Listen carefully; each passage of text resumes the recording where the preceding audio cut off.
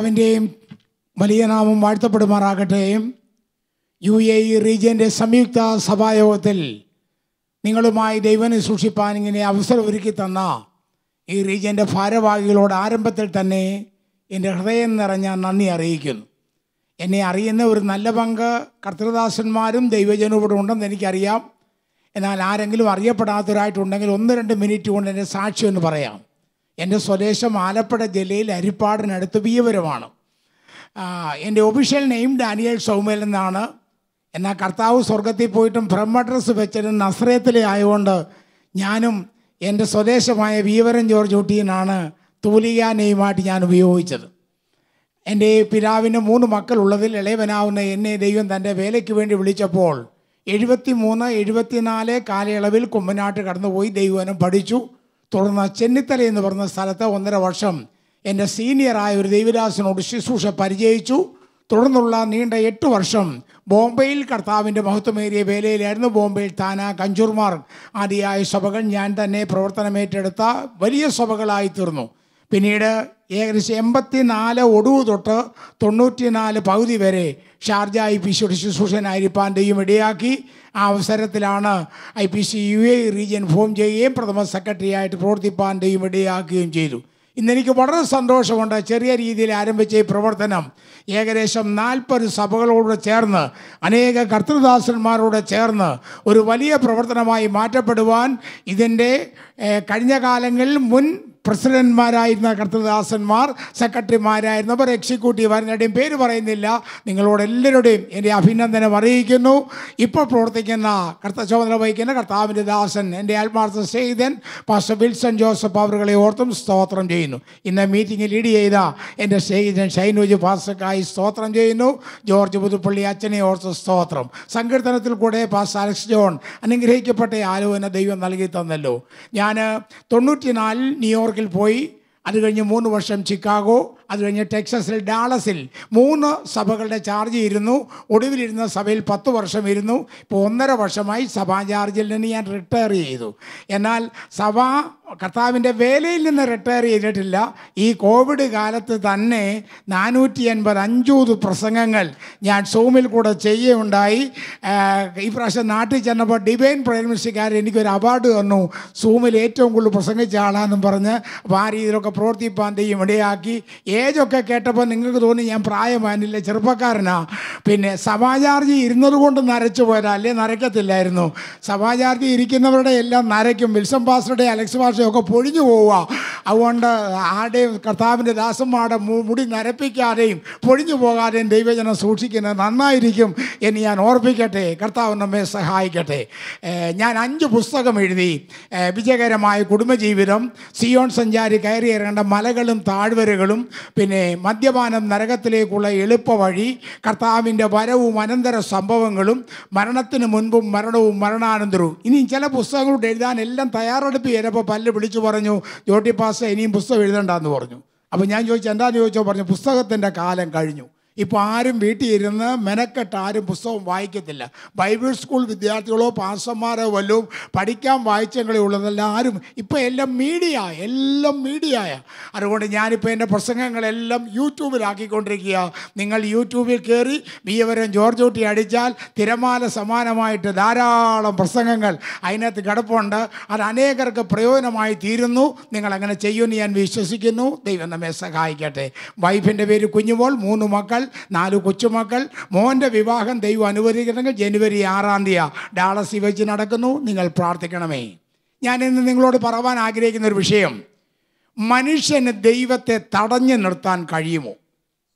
മനുഷ്യന് ദൈവത്തെ തടഞ്ഞു നിർത്താൻ കഴിയുമോ? രണ്ട് ഉത്തരം ഞാൻ തരുന്നു. ഒന്ന് ഒരിക്കലും ഒക്കത്തിൽ ഒരിക്കലും ഒക്കത്തില്ലെന്ന് പറയാൻ കാര്യം ദൈവത്തിന്റെ സ്വഭാവം ദൈവത്തിന്റെ കഴിവ് ഒക്കെ ഓർക്കുമ്പോൾ യശയ്യ നാൽപ്പത്തി മൂന്ന് പതിമൂന്ന്. ഞാൻ ദൈവം തന്നെ ഇന്നും ഞാൻ അനന്യം തന്നെ. എന്റെ കയ്യിൽ നിന്ന് വിടുവിക്കുന്നതിന് ആരുമില്ല. ഞാൻ പ്രവർത്തിക്കും ആര് തടുക്കും. അപ്പം ദൈവത്തെ തടുക്കുവാൻ ഒരൊറ്റ മനുഷ്യനും കഴിയത്തില്ലെന്ന് ദൈവവനം പറയുന്നു. അവന്റെ പേര് തന്നെ ഏൽ സദായി സർവശക്തനാകുന്ന ദൈവം. യശയ്യ പതിനാല് ഇരുപത്തിയേഴ്. സൈന്യങ്ങളുടെ ഹോബ നിർണയിച്ചിരിക്കുന്നു. അത് ദുർബലമാക്കുന്നവനാർ അവന്റെ കൈ നീട്ടിയിരിക്കുന്നു. അത് മടക്കുന്നവനാര്? അപ്പൊ ദൈവം കൈ നീട്ടിയാൽ ആർക്കും മടക്കുവാൻ കഴിയത്തില്ല. ഇനിയും യോബ് പറഞ്ഞു യോബ് മുപ്പത്തിനാല് ഇരുപത്തിനാല് വിചാരണ ചെയ്യാതെ അവൻ ബലശാലികളെ തകർത്ത് കളയുന്നു. യോബ് ഇരുപത്തിമൂന്ന് പതിമൂന്ന് അവനോ അനന്യൻ അവനെ തടുക്കുന്നവൻ ആര്? നെവുക്കനേശ്വർ ഒരിക്കൽ ഇങ്ങനെ പറഞ്ഞു ദാനിയേൽ നാല് മുപ്പത്തഞ്ച്.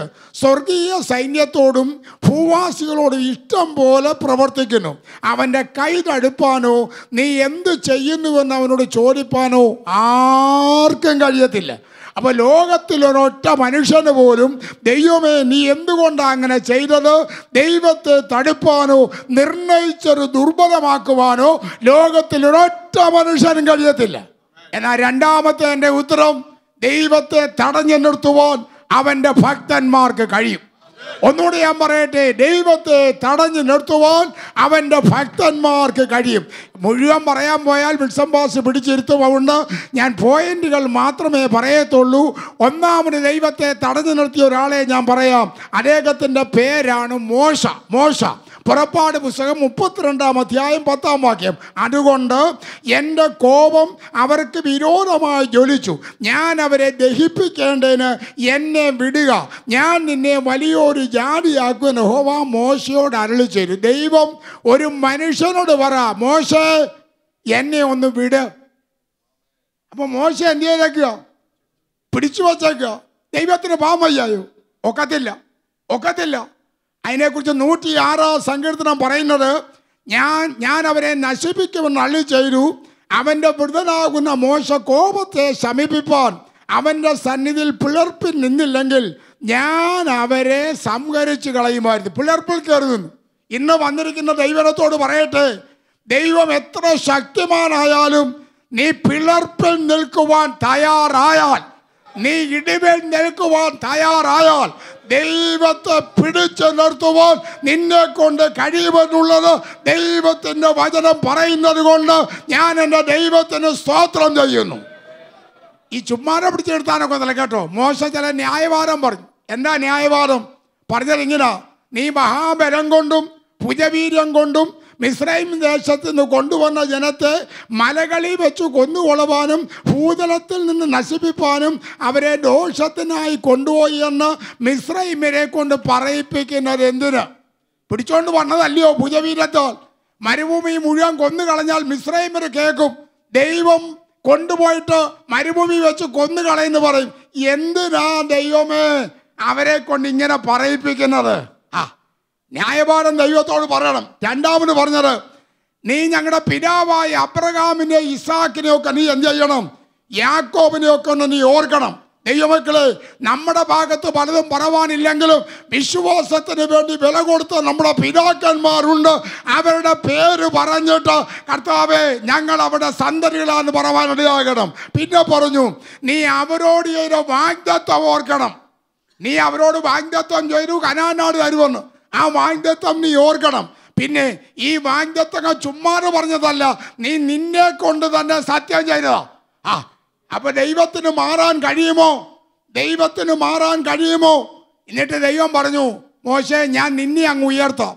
നമ്മുടെ ഭാഷന്മാരാണ് അപ്പോഴേ പറഞ്ഞത് സ്വോത്രം സ്വോത്രം സ്വോത്രം ഇവരെ എല്ലാം ഞാൻ കൊന്നുകളയും നമ്മളെ ഉയർത്തിയാൽ അത് മതി. ഉടനെ മോശ പറഞ്ഞ വാചകം കേൾക്കണോ? വേണ്ട വേണ്ട. ഈ ജനത്തെ നീ കൊണ്ടുവന്നു ഇവരെ ഇങ്ങനെ കൊല്ലാൻ പോയാൽ ഒരു കാര്യം ചെയ്യ്.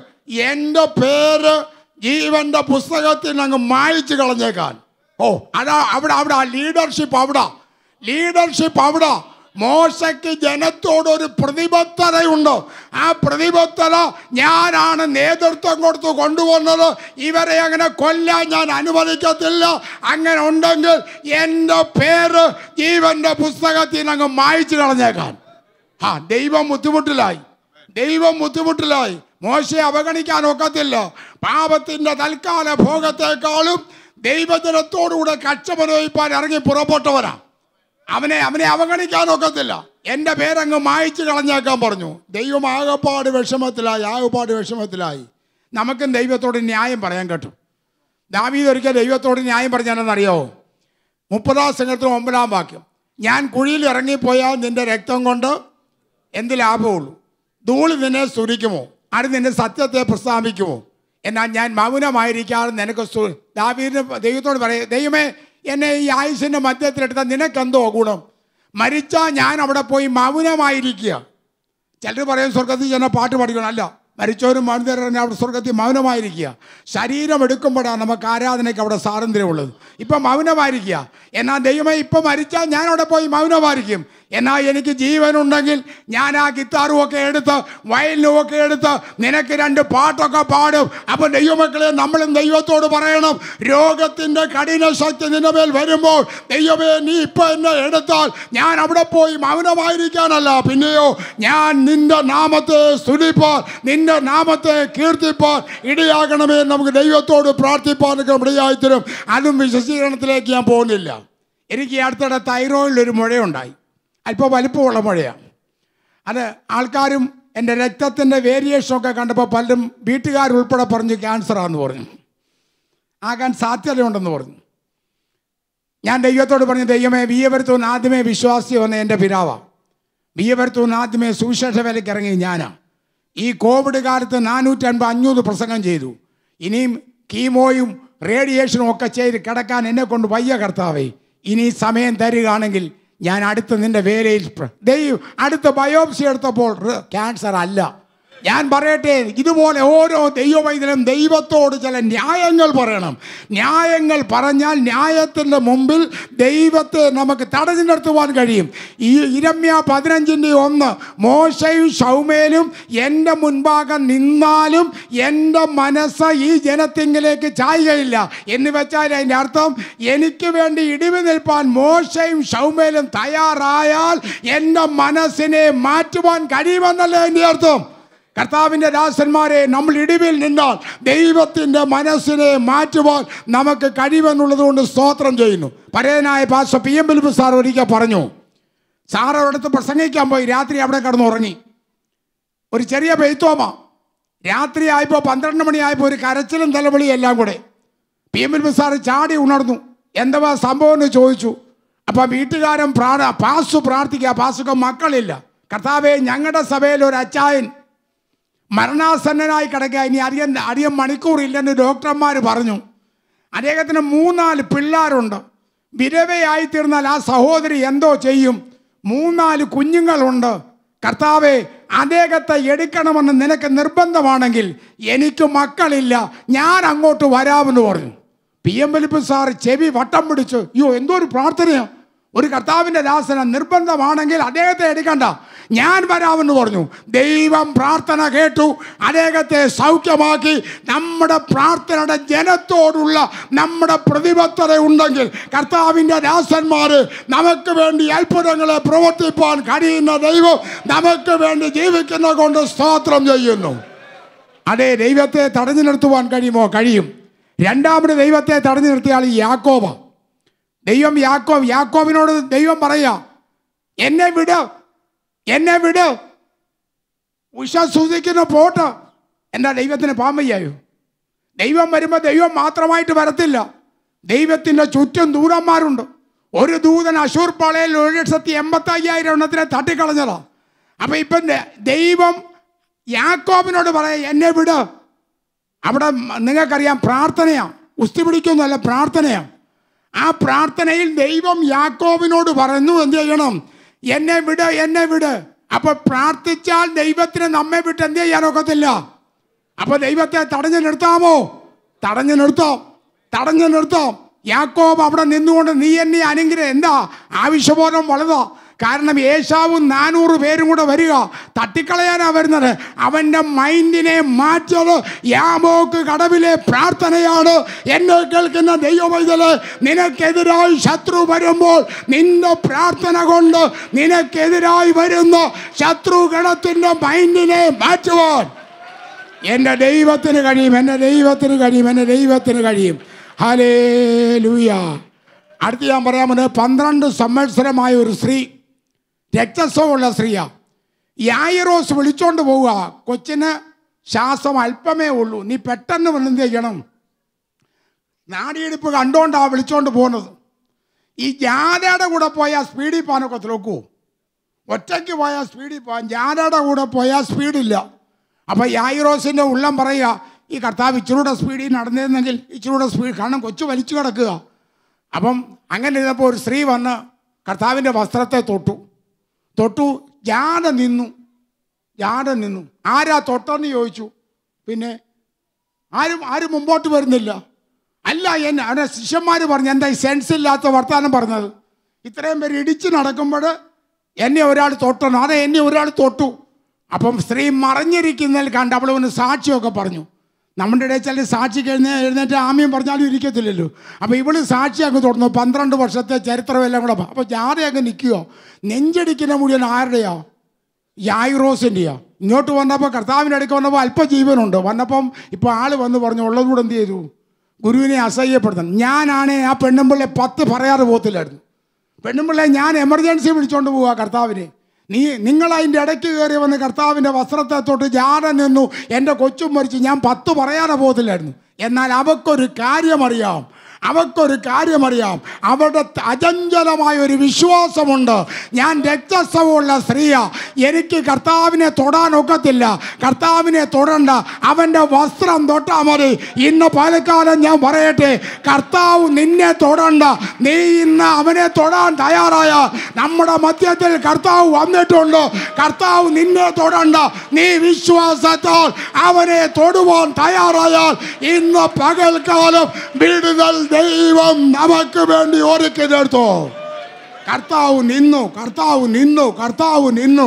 അതെ നമ്മുടെ മധ്യത്തിൽ കർത്താവുണ്ട് നിന്റെ അചഞ്ചലമായ വിശ്വാസം ഇന്ന് വെളിപ്പെടുകയാണെങ്കിൽ കർത്താവ് നിനക്ക് വേണ്ടി നിന്നു പ്രവർത്തിക്കുന്ന ദൈവം നിന്നെ നിവർത്തിക്കും. അടുത്തത് ബർത്തിമായി നിങ്ങൾക്കറിയാം മുന്നടക്കുന്നവർ മിണ്ടായിരിടാ മിണ്ടായിടാന്ന് പറഞ്ഞു. മുന്നടക്കുന്നത്. എപ്പോഴും ഏത് കാലത്തും കർത്താവിന് മുന്നടക്കുന്ന ഒരു കൂട്ടം ആൾക്കാരുണ്ട് കേട്ടോ. അവർക്ക് കർത്താവിന്റെ പോളിസി ഒന്നും അറിയത്തില്ല. കർത്താവ് വന്നത് ബെത്തന്മാർക്ക് വിടുതലും കുരുടന്മാർക്ക് കാഴ്ചയും കൊടുക്കാണ് ഈ പോളിസി അറിയാത്തവരാ മുമ്പ് നടക്കുന്നത്. ഈ അവ അവരെന്ത് ചെയ്യും? ആകപ്പാട് ഇപ്പം മുമ്പിൽ പോയിട്ട് ആളുകളോടൊക്കെ പറയും മിണ്ടായിടാ മിണ്ടായിടാ മിണ്ടായിടാ ഇന്നും ഇതുപോലെ മുന്നടക്കുന്ന ഒത്തിരി പേരുണ്ട് കേട്ടോ. അവർക്ക് പോളിസി ഒന്നും അറിയത്തില്ല. ഞാൻ ചിലപ്പോൾ പറയാറുണ്ട് ഞങ്ങളുടെ നാട്ടിൽ ഈ നായന്മാരാധികം ഉള്ളത്. ഭഗവതിയും കൊണ്ടുവരും വരും ഭഗവതിയും കൊണ്ട് വർഷത്തിലൊരിക്കൽ. ഭഗവതിയും കൊണ്ടുവരുമ്പോൾ ആദ്യമേ പോകുന്നത് മൽക്കി സലേക്കിന്റെ ക്രമപ്രകാരമുള്ള കുറേ പിള്ളേരാണ് ഉത്തരവാദിത്തമില്ലാത്ത അതിന്റെ പുറകിൽ ചണ്ടക്കാർ പോവും. ഭഗവതിയെ കയറ്റുമ്പോൾ നിങ്ങൾക്കറിയാം ഒന്നാമത്തെ പറയെടുത്താൽ പിന്നെ ഒരു മൈൽ പോയിട്ട് ആ വീണ്ടും തിരിച്ചു വരണം. എന്നാൽ പിള്ളേർക്ക് അറിയത്തില്ല. പിള്ളേർ പറ കാണുന്നിടത്തെല്ലാം കയറും ഭഗവതി അതിന്റെ പുറകിൽ കയറും അത് കഴിഞ്ഞ് കമ്മിറ്റി കരയോ കമ്മിറ്റിക്കാർ തിരിച്ചു വിളിക്കും. ഭഗവതി അവിടെ അല്ല പകുതിയെപ്പോലും പോലും വഴിതെറ്റിക്കുന്ന കുറേ മുമ്പിൽ നടക്കുന്ന പിള്ളേർ. എന്ന് പറഞ്ഞ പോലെ പ്രമാണമറിയാത്ത കുറേ മുമ്പിൽ നടക്കുന്ന ആൾക്കാർ അല്ല നീ അല്ല കർത്താവിനെ നിയന്ത്രിക്കുന്നത്. നീ കർത്താവ് കർത്താവ് പത്രോസിനോട് പറഞ്ഞു പോ നീ പിശാചനെ വിളിച്ചു. ഇംഗ്ലീഷ് മലയാളം ബൈബിളില്ല ഇംഗ്ലീഷ് ബൈബിൾ വായിച്ചത് നീ ടേൺ ബാക്ക് ടു എന്റെ എന്റെ പുറകിൽ വരാനാ പറഞ്ഞത്. നീ എന്റെ മുമ്പിൽ കയറണ്ട. കർത്താവിന്റെ ദാസന്മാരെ നമുക്കാർക്കും മുമ്പിൽ കയറണ്ട. കർത്താവിന്റെ പുറകിൽ നടക്കുവാനാ ദൈവം നമ്മെ ആക്കിയേക്കുന്നത്. എന്നുള്ള തികഞ്ഞ ബോധ്യം നമുക്കുണ്ടായിരിക്കണം. ഹാനേ അവിടെ വായിക്കുന്നത് ഭർത്തിമായി അവിടെ എന്നോട് യേശുവേ രാവിലെ പുത്ര. എന്നോട് കരണമുണ്ട് അടുത്ത വാക്യം ഇങ്ങനെ. യേശു നിന്നു. ആരാ നിന്നത്?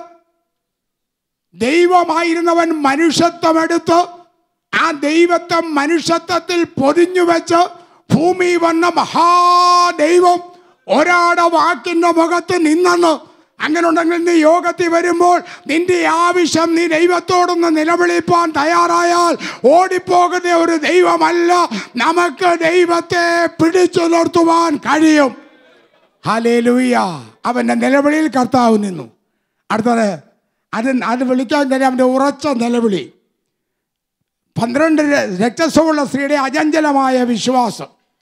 യാക്കോബിന്റെ നിശ്ചയദാർഢ്യം. ഇനി അടുത്തത് സക്കായി കർത്താവിനെ കാണാൻ ആഗ്രഹിച്ചു നല്ലൊരാഗ്രഹമാണ്. കർത്താവിനെ കാണാനെന്ന് ആഗ്രഹിച്ചു. പക്ഷെ പുരുഷാര നിമിത്തം കഴിയത്തില്ല. മരത്തിന്റെ മണ്ടയ്ക്ക് കയറി. ഉള്ളിന്റെ ആഗ്രഹം ഒന്നും വേണ്ട. കർത്താവ് എങ്ങനെയുള്ളവൻ എന്ത് ചെയ്യണം? ഒന്ന് കണ്ടാൽ മതി. യാത ഇങ്ങനെ പോവുക. വലിയ പുരുഷാരമുണ്ട്. എരിഹോവിൽ നിന്ന് എരിശയമൊക്കെ യാത ഇങ്ങനെ പോവുക. ആ മരത്തിന്റെ കീഴിൽ വന്നപ്പോൾ ജാത കർത്താവ് നിന്നു. കർത്താവ് നിന്നപ്പോൾ ജാത നിന്നു. നോക്കിക്കോണേ. ആരുടെ ആഗ്രഹത്തിന്റെ വേളിൽ? സക്കായുടെ ഉള്ളിന്റെ ഒരു ആഗ്രഹത്തിന്റെ പേരിൽ കർത്താവ് നിന്നെന്ന്. അവിടെ ഒന്ന് ഒരൊറ്റ വിളി സക്കായേ അവൻ ഹാർട്ട് അറ്റാക്ക് വരാഞ്ഞ ഉപകാരമായി. സക്കായിയെ വേഗം ഇറങ്ങി പോ അവൻ പെട്ടെന്ന് വേഗം ഇറങ്ങി വന്നു. അടുത്തെന്തോ നടന്നെന്ന് ബൈബിൾ എഴുതിയിട്ടില്ല ഞാൻ പറയാം. അടുത്ത് കർത്താവ് അനൗൺസ് ചെയ്തു ഇന്നത്തെ ജാഥ പിരിച്ചുവിട്ടിരിക്കുന്നു എല്ലാവർക്കും പോകാം. ഞാൻ സക്കായുടെ വീട്ടിലോട്ട് പോവുക. നോക്കിക്കോ ഇന്നത്തെ ജാഥ എന്ത് ചെയ്തു? പിരിച്ചുവിട്ടു എല്ലാവർക്കും പോവാം? അവന്റെ ആഗ്രഹത്തിന്റെ പേരിൽ ഞാൻ നിൽക്കുക മാത്രമല്ല ഞാൻ നിന്റെ വീട്ടിലോട്ട് വരാൻ പോവുക നിന്നോടുകൂടെ കൂട്ടായ്മ അനുഭവിക്കാൻ പോവുക നിന്നെ അബ്രഹാമിന്റെ മകനാക്കി നിന്നെ അംഗീകരിക്കാൻ പോവുക. എന്നെ കേൾക്കുന്ന ദൈവമൈതൽ നിന്റെ ഉള്ളിന്റെ ഉള്ളിൽ ഒരു ചെറിയ ആഗ്രഹം മതി. കർത്താവിനെ പിടിച്ചു നിർത്തുക മാത്രമല്ല അവൻ നിന്റെ കൂടെ വരും. ഹല്ലേലൂയ. ദൈവം കൂടെ വന്നുള്ള അനുഗ്രഹം അറിയാമോ? ഞാൻ ഇവിടെ ഏതോ ഒരു സഭയെ പ്രസംഗിച്ചു. ഒരു രാജാവിന് അഞ്ച് സൈന്യാധിപന്മാരുണ്ടായിരുന്നു. യുദ്ധം ജയിച്ചാൽ ചോദിക്കുന്ന തരാമെന്ന് പറഞ്ഞു. ഒന്നാമത്തെ സൈന്യാധിപൻ ചോദിച്ചു രാജാവിന്റെ മൂത്ത മോളെ കല്യാണം കഴിച്ചു തരണം? ആ കഴിച്ചു കൊടുത്തു. രണ്ടാമത്തവൻ വന്ന് പറഞ്ഞു എനിക്കൊരു വീട് വേണം. വീട് വെച്ചു കൊടുത്തു. മൂന്നാമത്തവൻ പറഞ്ഞു വഴിയില്ല നല്ലൊരു ടാറിട്ട റോഡ് വേണം അതും വിട്ടു കൊടുത്തു. നാലാമത്തവൻ വന്ന് പറഞ്ഞു എനിക്ക് പണമില്ല ബാങ്കിൽ ഡിപ്പോസിറ്റ് ചെയ്യണം. പണം ഇട്ട് കൊടുത്തു. അഞ്ചാമത്തവൻ വന്ന് ചോദിച്ചു എന്തോ വേണം? അവർ ചോദിച്ചതൊന്നും എനിക്ക് വേണ്ട. രാജാവ് ഒരു മാസം എന്റെ വീട്ടിൽ വന്ന് താമസിക്കണം. ആ അയ്യോ അതൊരു വലിയ കാര്യമല്ല? ഒരു മാസം. അവന് വീടില്ല. വീട് വെച്ച് കൊടുത്തു. അവന് പണമില്ല. ബാങ്കിൽ പഴയിട്ട് കൊടുത്തു. വീട്ടിലോട്ട് പോകാൻ മടിയില്ല. വഴി വെച്ച് കൊടുത്തു. എല്ലാം വെച്ച് കൊടുത്തു. ഒടിയിലാവുമ്പോൾ അപ്പോൾ രാജാവ് ഭക്ഷണം കഴിക്കുന്നത് ഭാര്യയോ മക്കളോ കുക്ക് ചെയ്യുന്നതോ ഇളയ മോളെ കല്യാണം കഴിപ്പിച്ചു കൊടുത്തു. ഒറ്റയടിക്ക് മറ്റവന്മാർ ചോദിച്ചതല്ല ഒറ്റയടിക്ക് ആര് മേടിച്ചു? ഒരു മാസം വീട്ടിൽ വന്ന് താമസം യേശു കൂടെ വന്നെങ്കിൽ നീ പണം വേണമെന്നോ ധനം വേണമെന്നോ സൗഖ്യം വേണമെന്നൊന്നും പറയണ്ട. നിന്റെ എല്ലാ കാര്യങ്ങളും അറിയുന്ന നല്ല കർത്താവ് നിനക്ക് വേണ്ടി സകലവും പ്രവർത്തിപ്പോൾ ശക്തനായ ദൈവം നമ്മുടെ കൂടെ ഉണ്ട്. നീ പ്രത്യേകിച്ച് പ്രത്യേകിച്ച് ഓരോന്ന് പറയണ്ട. നിന്റെ ആവശ്യങ്ങളിൽ കൂട്ടായ്മ കാണിക്കുന്ന ഒരു നല്ല കർത്താവ് നമുക്ക് വേണ്ടി ഉള്ളത് കൊണ്ട് ഞാൻ സ്തോത്രം ചെയ്യുന്നു. കർത്താവ് നിന്നു. നയിനിലെ വിരവ. നിങ്ങൾ നൈല വിരവ എന്റെ ഭാഷയിൽ പറഞ്ഞാൽ കർത്താവ് ആ റൂട്ടൊന്നും വന്നതല്ല. കർത്താവ് എന്തിനാ ശവക്കോട്ടയിലോട്ട് പോകേണ്ട കാര്യം? പക്ഷേ ഇവിടെ ദുഃഖത്തിന്റെ തീവ്രത. ഭർത്താവ് മരിച്ചു കുറേ കരഞ്ഞത്. മോനെ നോക്കി ആശ്വാസം പ്രാപിച്ചത്. മോനും തട്ടിപ്പോയി. ആകപ്പ കരഞ്ഞു കരഞ്ഞു. കർത്താവിനെ ആ വഴി നയിച്ചത് എന്തിനാ? ഇവിടെ തീവ്രമായ ദുഃഖം. മരണത്തിന്റെ ജാഥയും ജീവന്റെ ജാടയും തമ്മിൽ കൂട്ടിമുട്ടാൻ പോവുക. കൂട്ടിമുട്ടിക്കഴിഞ്ഞപ്പോൾ നിങ്ങൾക്കറിയാമല്ലോ ബാല്യക്കാരാ എഴുന്നേൽക്ക എന്ന് പറഞ്ഞു. ഞാൻ പറയട്ടെ നിന്റെ ദുഃഖത്തിന്റെ തീവ്രത വലുതാണെങ്കിൽ ദൈവം പരിപാടി മാറ്റിവെച്ച് നിനക്ക് വേണ്ടി നീ പോകുന്ന വഴിയിൽ നിനക്ക് വേണ്ടി വരുന്നവരാണ് ഞാൻ ചിലപ്പോൾ പറയാറുണ്ട് ദുഃഖത്തിന്റെ തീവ്രതയും പ്രാർത്ഥനയൊക്കെ കട്ടി കൂടിയില്ലേലും ഒരു ഒന്ന് രണ്ട് ഉദാഹരണം കൂടെ ഞാൻ പറയാം. ഇക്കരെ വലിയ ഉണർവിയോഗം നടക്കുക. മത്തായി വായിക്കുമ്പോൾ രോഗികളെയൊക്കെ അവന്റെ അടുക്ക കൊണ്ടുവന്ന് വലിയ മിറക്കൽ ക്രൂസൈഡ് നടക്കുക. പെട്ടെന്ന് കർത്താവ് പറഞ്ഞു അക്കരയ്ക്ക് പോകാം. എടാ ഇവിടെ യോഗം നമ്മൾ വല്ല ഉണർവ് നടക്കുമ്പോൾ വേറെ അടുത്തെങ്ങാനും പോകും അക്കരയ്ക്ക് പോകാൻ പറഞ്ഞു. ഉടനെ അക്കരയ്ക്ക് പോയി. അക്കരെ ചെന്നപ്പോൾ ആറായിരം പൂലം വാരിച്ച ഒരുത്തൻ സ്വീകരിക്കാൻ വന്നു. അവിടെ നടന്നത് എന്താണെന്ന് ബൈബിൾ എഴുതിയിട്ടില്ല എന്ന് ഞാൻ പറയാം. ഈ ഭൂതം എപ്പോഴും ഒരാളിൽ കണ്ടിന്യൂസ് പ്രവർത്തിക്കത്തില്ല. നമുക്കറിയില്ല നമ്മുടെ കൂടെ സഭയിലിരുന്ന് പാട്ട് പാടുകയും പ്രാർത്ഥിക്കുകയും വേദവസ്തം വായിക്കുകയും ഒക്കെ ചെയ്യുന്നവർ കാത്തിരിപ്പ് യോഗം വെക്കുമ്പോൾ ഇളകും അപ്പം അവർ ഭൂതമുണ്ട് പക്ഷേ എന്ത് ചെയ്യത്തില്ല? യോഗത്തിലിരുന്നിട്ടും ഇളകിയിട്ട് എന്ന് പറഞ്ഞാൽ ഭൂതം കണ്ടിന്യൂസ് കാണത്തില്ല. ഭൂതം ഇവനെ മരിഞ്ഞു മുറുക്കുമ്പോൾ ഇവൻ കയ്യും കാലും ഒക്കെ ചതയ്ക്കും. വസ്ത്രമൊന്നും ഉടുക്കത്തില്ല കല്ലറയില്ല താമസം. ഭൂതം ഒന്ന് വിട്ടു നിൽക്കുമ്പം ഇവൻ ഇങ്ങനെ പറയും എന്റെ ദൈവമേ എന്നെ ഒന്ന് പിടിവിച്ചിരുന്നെങ്കിൽ അപ്പോഴത്തേക്ക് ഭൂതം വീണ്ടും മരിഞ്ഞു മുറുക്കും. ദൈവത്തെ വിളിക്കാൻ അനുവദിക്കത്തില്ല. നിങ്ങൾക്കറിയാം ഗലീല കടലിന്റെ ഓളം ശിഷ്യൻ പുരുഷാരത്തിന്റെ ബഹളം കാറ്റിന്റെ ശബ്ദം എന്നാൽ അവന്റെ ഞെരക്കം അവന്റെ ഞെരക്കം ഇതിനെയെല്ലാം പേടിച്ചുകൊണ്ട് എന്റെ യേശുവിന്റെ ചെവി വന്നു. യേശു പറഞ്ഞു അക്കരയ്ക്ക് പോകാം. എന്നെ കേൾക്കുന്ന ദൈവമൈതലേ നീ സാക്ഷി പറഞ്ഞത് പാസ് കേട്ടില്ലേലും സഭ കേട്ടില്ലേലും നീ പേടിക്കണ്ട. നിന്റെ ഹൃദയത്തിന്റെ ഞരക്കും നീ ഒന്ന് ദൈവൻപാകെ അറിയിച്ചാൽ നിനക്ക് വേണ്ടി പരിപാടികളെ മാറ്റിവെച്ച് ഇറങ്ങി വരുന്ന ഒരു നല്ല ദൈവം നമുക്ക് വേണ്ടി ജീവിക്കുന്നത് കൊണ്ട് നന്ദിയോടെ ഞാൻ ദൈവത്തിന് സ്തോത്രം ചെയ്യുന്നു. സാക്ഷി പറയണ്ട ഞെരങ്ങിയാൽ മതി ഉള്ളത്തിൽ ഞെരങ്ങിയാൽ മതി. ദൈവം നിനക്ക് വേണ്ടി ഇറങ്ങി വന്ന് പ്രവർത്തിക്കും. കനാന്യ സ്ത്രീ യേശുവിന്റെ അടുക്ക വന്നു. യേശു മൈൻഡ് ചെയ്തില്ല. മൈൻഡ് ചെയ്തില്ല. ശിമാർ പറഞ്ഞ ആ- സ്ത്രീയെ പറഞ്ഞ ആ സ്ത്രീയെ പറഞ്ഞു വിടാൻ പറഞ്ഞു. അപ്പോഴും കർത്താവ് പറഞ്ഞു ഞാൻ എന്റെ സ്വന്തം ജനത്തിന് വേണ്ടിയാണ് വന്നത് ഇവർക്ക് വേണ്ടിയല്ല.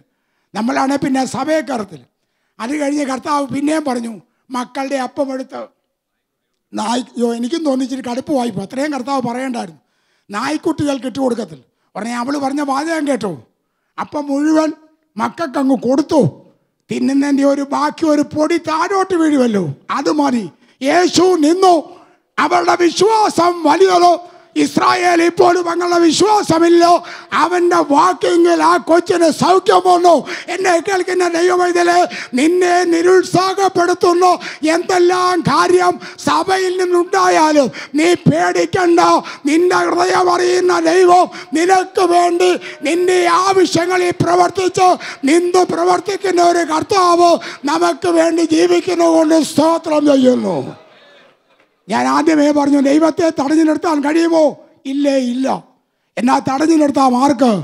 തന്റെ ഭക്തന്മാർക്ക് തന്റെ ദൈവമക്കൾക്ക് കർത്താവിനെ നിർത്തുവാൻ കഴിയും. നമുക്ക് വീണ്ടും വിശ്വാസത്താൽ നമ്മുടെ വിശ്വാസത്താൽ നമ്മുടെ ആവശ്യങ്ങൾ ദൈവത്തോട് പറഞ്ഞ് കർത്താവിനെ നമുക്ക് വേണ്ടി തടഞ്ഞു നിർത്തുവാൻ കണം ദൈവമായ കർത്താവ് ഇടയാക്കട്ടെ എന്ന് ഞാൻ ആശിക്കുകയും പ്രാർത്ഥിക്കുകയും ചെയ്യുന്നു. ദൈവത്തിന് പ്രവർത്തിപ്പാൻ കഴിയും. ഞാൻ പറഞ്ഞ കാര്യം ഒന്നുകൂടെ പറയട്ടെ.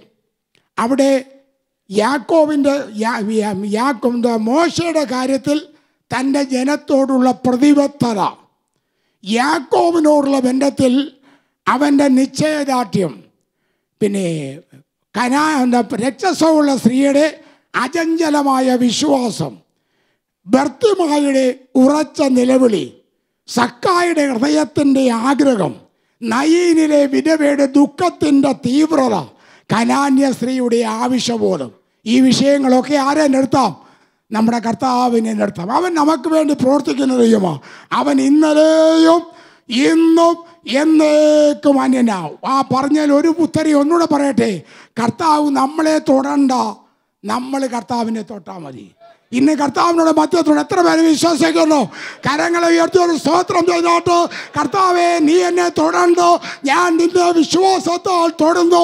എനിക്ക് വേണ്ടി അത്ഭുതങ്ങളെ പ്രവർത്തിക്കണമെന്ന് പ്രാർത്ഥിച്ചാൽ കർത്താവിന് നമുക്ക് വേണ്ടി നിൽക്കും. ദൈവം ഈ വനങ്ങളാൽ നമ്മെ അനുഗ്രഹിക്കുമാറാകട്ടെ. ആമേ